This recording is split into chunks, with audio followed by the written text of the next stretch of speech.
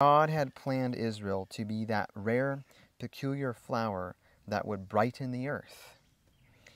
It would ever keep in the people's minds the new heaven and new earth, where only these rare flowers of righteousness grow. What a witness they could have been to the whole world. What a witness you can be to the world. Our Heavenly Father designed that the children of Israel would be obedient to Him, that they would live pure, that they would live holy, that they would reflect His character, and that in living that way, their life, their presence in the earth, would be like the fragrance of a flower. But instead, they chose sin.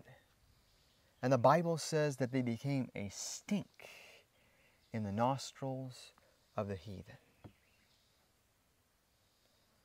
By choosing to be obedient, by allowing our Heavenly Father to work in our life, we can have the beauty and the fragrance of a flower. By choosing sin, we can stink like a pot of poop. It is up to us to decide will we have the fragrance of a flower by reflecting the character of our Redeemer?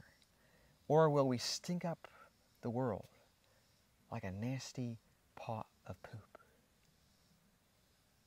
May God give us this gift, this ability to be obedient, that our lives would be a fragrance in the earth rather than a nasty stink.